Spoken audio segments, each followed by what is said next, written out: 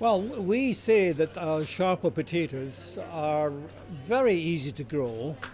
You put them in the ground, you don't need to spray them, they suppress weeds, you harvest them in the autumn, uh, you keep them over the winter, they're still edible in March and April of the following season.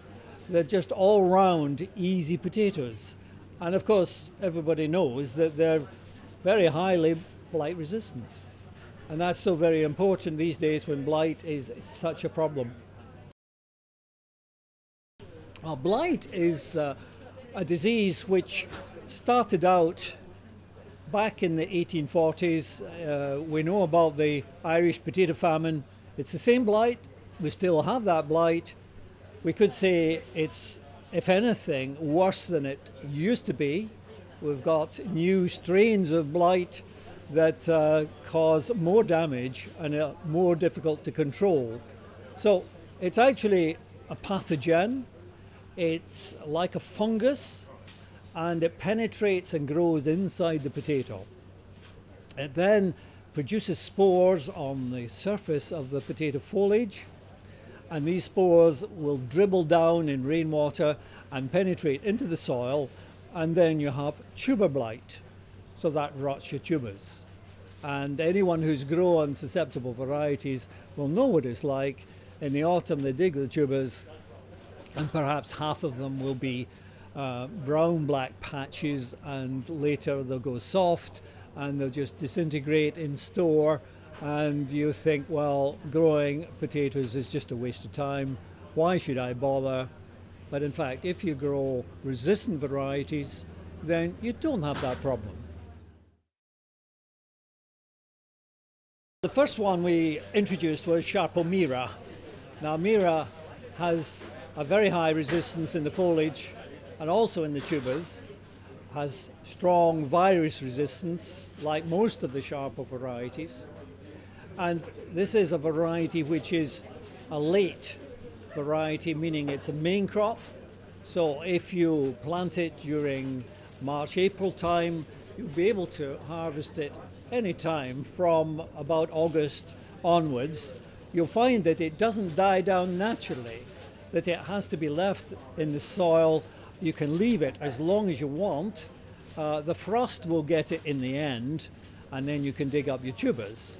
But you can start harvest in August, and you'll find that uh, you've got some fully formed in August.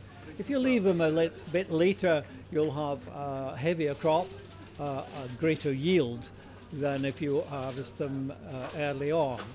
So that's um, Mira. Now, Axona is another one. It's rather similar.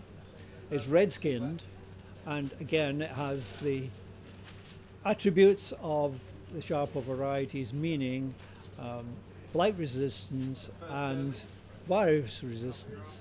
Axona is preferred by some people for its taste. It has a good um, pronounced potato taste and uh, we recommend it along with Mira. Some people prefer one, some people prefer another, but they have both the same season. They are both main crop varieties. So we have other Sarpo varieties that have very different characteristics. For example, we have Sarpo Una. Now, Una is a pink-skinned variety. It's an early variety. It's early in that it can be harvested in June and that will produce a smallish crop of well-formed small potatoes for eating as a new potato.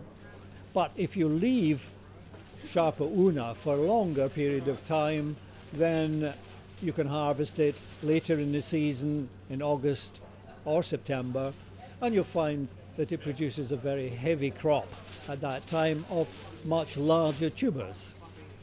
One characteristic of Una, which is appreciated by some people, is that it is more waxy and suitable for salad uses rather than for baking or for roasting. So it's uh, got a lower dry matter, meaning that it is a firm potato on cooking. It's good for saute. It's good for uh, cook, cooking and eating cold, as in a salad. We have another variety we call Blue Danube. Now, Blue Danube is a bit different.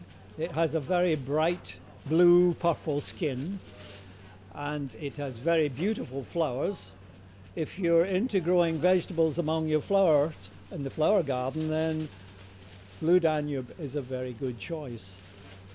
It has uh, slightly less blight resistance, but nonetheless, it can be grown uh, even in a blight season like this last season, and it produces a very good crop nonetheless. So it's becoming very popular as a very tasty potato variety and is a firm favourite with many of our customers. We have yet another one called Kifli. Now, Kifli is a salad potato.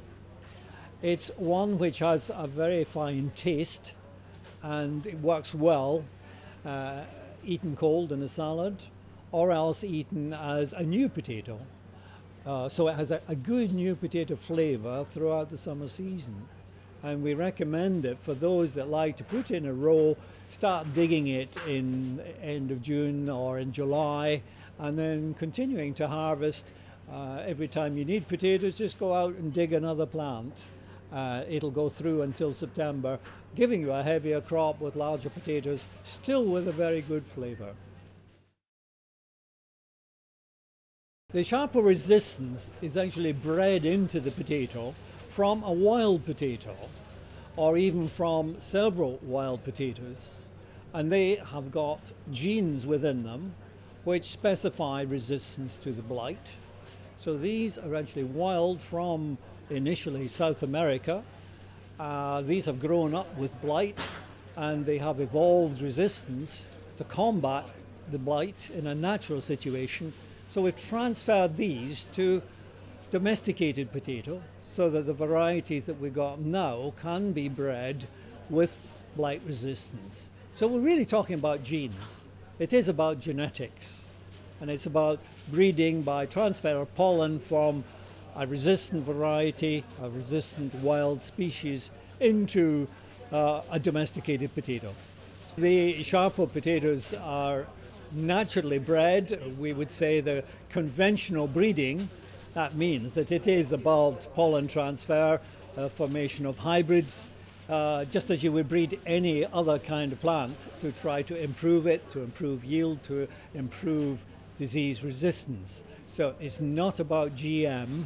Uh, GM blight resistant potatoes are being produced these days. Uh, we do not Uh, do uh, our breeding in that way.